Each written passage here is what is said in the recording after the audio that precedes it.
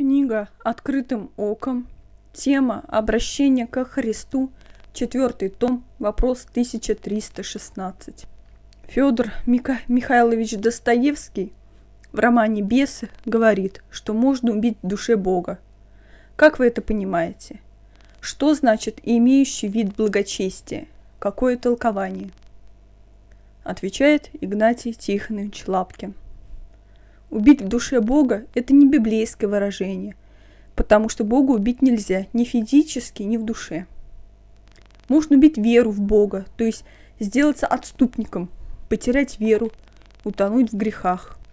Филиппийцам 3.18. Ибо многие, о которых я часто говорил вам, а теперь даже со слезами говорю, поступают как враги Христ... Христа Христова. 1 Тимофею 1 глава, 19 стих.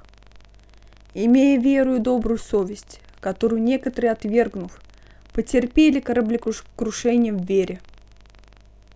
2 Тимофею 3 глава, 5 стих.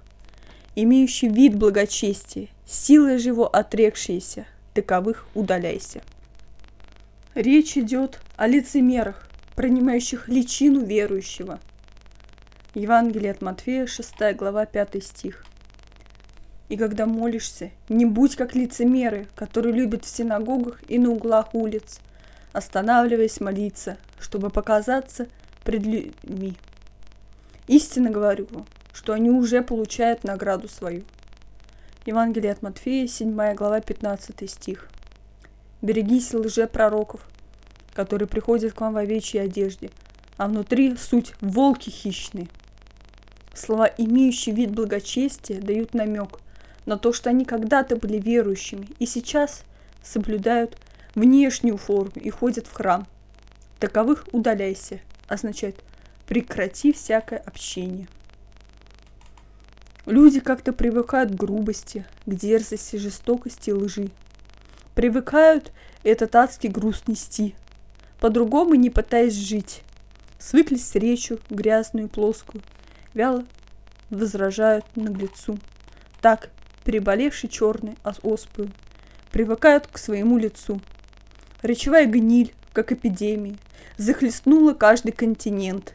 Но хотя я в мире, не в Эдемия, не могу привыкнуть к гнили, нет. Потому что благовествованием был я в ранней юности пленен. Под его божественным влиянием я, ц... я ценю здоровый лексикон. От Христа узнал я нечто лучшее – лучшему стремлюсь, как жизнь к лучу. И свыкаюсь с тьмой ни в коем случае. И свыкаться с тьмой ни в коем случае не могу, не буду, не хочу.